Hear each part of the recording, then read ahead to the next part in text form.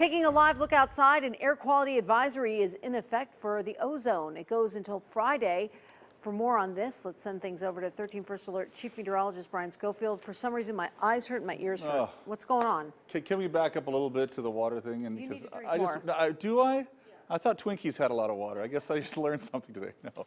Uh, well, if your eyes hurt, obviously you're in one of those sensitive groups, and certainly that's where the air will be the most unhealthful, at least as far as ozone is concerned. Uh, dust, smoke, soot in the moderate category for tomorrow. Keep that in mind.